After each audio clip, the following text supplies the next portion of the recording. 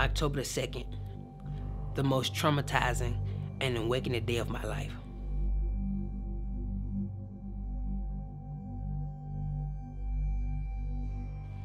Me and Rob will be married three years in this October. And in those three years, God has really been growing him.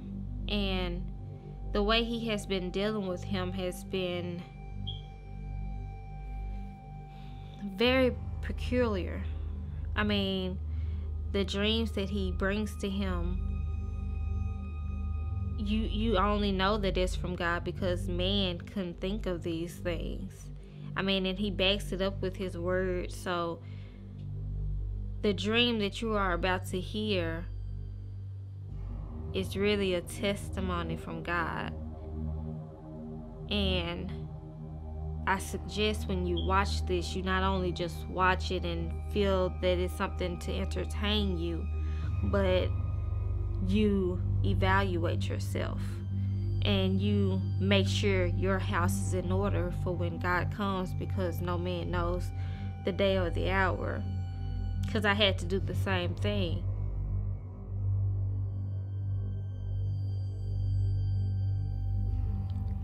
I remember it was on a Thursday.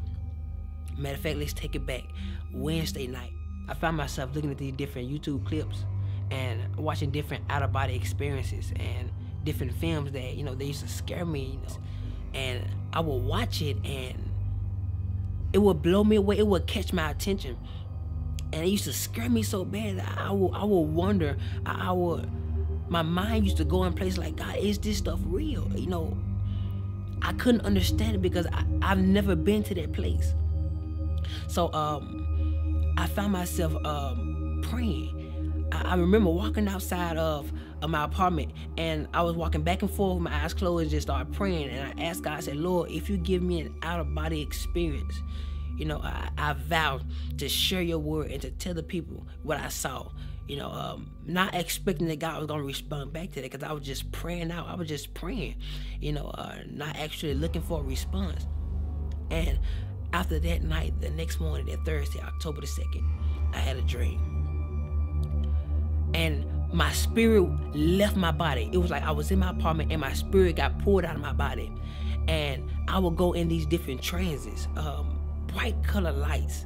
It was white. She like the best way I can explain it would be shoo, shoo, shoo, all the different flashing lights. And I appeared before a blue sky with no clouds. Uh, it was like a blue place. No land, no trees, no grass, no water, nothing. There was nothing there but a blue atmosphere. And I would see this atmosphere goes millions of miles upon millions of miles where nothing existed. It was like nothing was hidden. Everything was revealed. Everything was before your eyes. You could see it. And we was in this clear kind of body form, some form of light as a you would refer to a soul or a spirit or, or and, and I could see through it was so transparent and in front of me was thousands among thousands similar to what I was and thousands among thousands behind me. And and I knew that it was some form of a soul. And in the middle of my chest were seeds, you know, multiple seeds. I didn't know what they were for. And I realized that I was the only being that could actually move out of my place and look and observe, smell, taste, you know, feel. All my senses were active at this point. And so, you know, um, I began to look around and, and, and, to observe the things that I saw, not knowing that this was a dream. I thought this was reality. I thought this was actually happening, you know. Um, and I looked forward, and there was this great shadow way in front of me, way at the end of the line, it was like thousand, one thousand people in front of me, and there was a shadow, a great big shadow, but it had no detail. It was like a, as a vapor, and I could I could see that it was a shadow of something that was in the front, and um, I you know I had many questions at this point in this dream, and out of nowhere, I I hear I heard these words, "Depart from me," and this galaxy this portal, I don't know what to call it. On the on on the right side of of God, you know, uh, or Jesus Christ, you know, uh, whoever you, you, you decide to identify that spot of judgment. on the right side of him, there was this big portal that opened up, and there will be stones of fire. Hey, normally, when you, you you, you get a lighter and you cut it on, try to um, spark a flame, but instead of fire, it was stones, and they will leak out of this portal. And whoever whoever that guy said, depart from me, flew down this place. And it the flame, the, the stones were so hot that it would burn everybody outside of that portal. On the left side of our, our body or our form it will burn us. And it, everybody be like ooh like as if it was so cold or so hot you would tell somebody to close that door. It's too cold. That's how hot it was. And the, the portal closed and then the, he, he sent them so fast that the screams were late I would hear ah like it was like depart from me and it closed up then the screams come ah and it terrified me. And then out of nowhere, something snatched us up. Like we moved up the line. And I began to think, I, I didn't understand where we was. I'm like, oh my God, maybe this is judgment. Yeah, my, you know, I had many questions and I would hear, depart me, depart me, depart from me, and all these different people will be sent to hell. And the part that scared me the most was the people that were getting judged, you could hear when God was talking to them. And you could hear everything they got judged from. So if somebody went to hell for something that you knew you struggled with in your life, you know where you were going. And so I'm just seeing people go, shoot, sit there, boo, boo. But I'm seeing the flame and it's just constantly burning everybody outside that haven't been judged yet. And I could hear some of the people um, talking to God, and um, I remember there was a woman, you know, blonde hair, and God was talking to her. He said, I'm not judging you for what you put on Facebook, but I'm judging you on how everybody else received it. 300,000 people were led astray by one of her Facebook posts.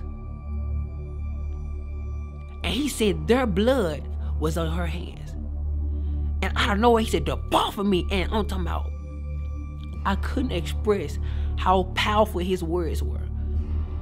It's as if he said, Depart from me, and everything shook.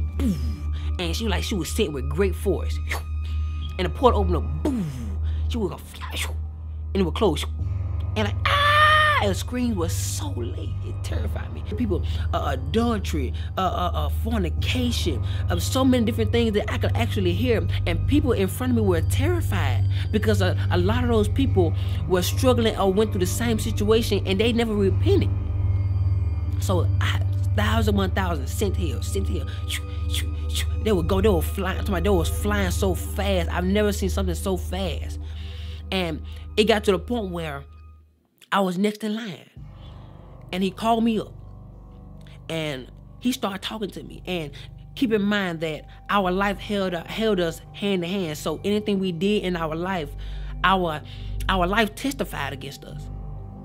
So you couldn't lie because your life testified. Say, yes, you did. You did this. You did this at this time. Yes, you did. And whenever God would speak to me, you would see a big screen. Like you would see as if whatever God says, it comes to life.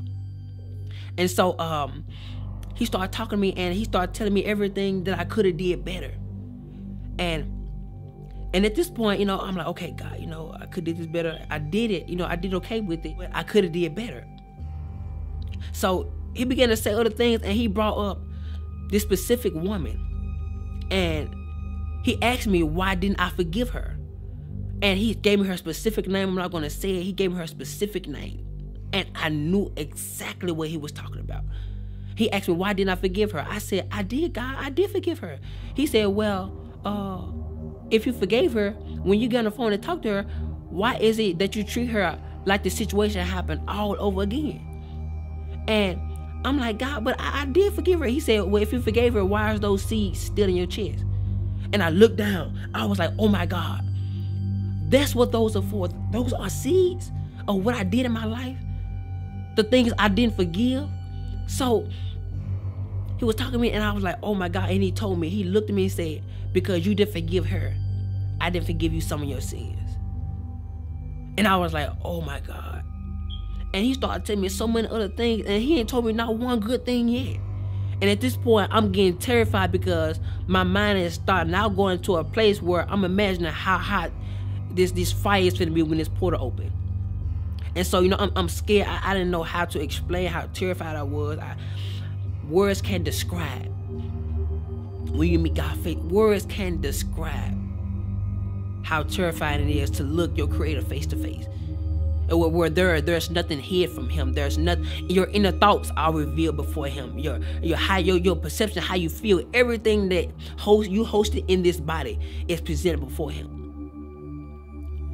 And so, you know, he I got to a point where I, just I like I didn't want to hear God no more. I was really turning my head because I was afraid that you know it's already made his mind up. I was so afraid, and so I turned my head, and he would just kind of tell me everything that I didn't do right, or or I could should I should have did better. And at this point, I knew I was going to hell. I knew it. I I, I was fully persuaded that this was it. So I turned my head and I was like, I don't want to hear no more of it. You know, my mind, I'm just, I'm just, I don't, I don't hear. I'm just really trying to imagine how hot hell is gonna be. I'm like, oh my God, Lord, I have no more chance. If I go down there, I can't come back. Like, Lord, please don't send me to hell. Please, like God, please. I'm begging you, and I'm, I, am i am more terrified. Ter- I was more terrified than I can express. And so I turned my head and and at this point, I no longer wanted to hear what he had to say because I knew at this point, you know, I, I was going to hell. And I would have my head turned, and out of nowhere, there was this one feeling that would come over the, the interface of my soul. And I would turn my head, it would go in slow motion, and the tears would fly from my face. And I looked at God, and I was looking at His His judgment. What what, what was going to be my judgment? And He looked at me. He said, face to face you don't get a well done. You get a you barely made it. And he stepped back and said, Come. And at this point, I was so confused. I'm like, Oh my God. And on the left side of God, heaven would open up so soft with brilliant lights. Uh, the colors were undescribable. Like colors I've never seen before in my life. It was so so so so pretty, so amazing and the colors will blossom as they grow, and as they grew, and the heaven will open up so gentle. And I will walk toward that direction, and my hand will go in the portal. And when my hand went through, it got bigger. My arm went through, it got bigger. It was like I was growing into a a a mature state of a glorified body. And so my leg went through, like got bigger, and you can see how big I got on the other side and, and how my soul was being transformed into a glorified body. And my body would go through it, and, and only piece that was left behind was my leg. And right before my last foot got in, uh, I woke up. The dream scared me so bad. I was underneath our living room table for hours. I was so terrified. I was terrified to move. I was terrified to do anything because I was afraid it was going to be added to my judgment. I thought that was the judgment. I, that didn't feel like a dream. I could feel, I could taste, I could tell you how it made me feel. Everything was so alive in the dream. And at that moment, I was asking God, God, why did you give me this dream? He said, because I want you to warn my people that the things which you saw are the things that shall be. And I didn't realize that what I prayed for and the vow I made before God that he was going to fulfill it. Now he's looking for my aim to be fulfilled. So that's why I'm here talking to you right now. Forgive. Let go. I couldn't describe how many people that allow for, for unforgiveness to grow in them and it, and it caused a bitterness which caused them to do things that they got judged for that thing caused them not to make it to heaven. I was terrified. It was so many people went to hell. And it, it felt like I was, it felt like I was the first one. Like God was, it was thousands among thousands of people in front of me. That is scary to me. So today I encourage you to get it right with God. Get it right with your fellow friends, your enemies, the church hurt that causing you to attack people in silence. Go get it right. Because hell is not worth it. God, God scared me so bad in this dream. But I knew it was for a reason. So today, choose love. Accept Jesus Christ as your Lord and Savior. Believe that He died on the cross for your sins and my sins. And that He He He died, but He rose on the third day. Believe that He's the Son of God. Read the scripture and apply it to your life. So that when Jesus come back, He don't see your flesh, but He see His word. I encourage you today. Forgive, love, and watch how God change your life. I thank you for watching. Be blessed.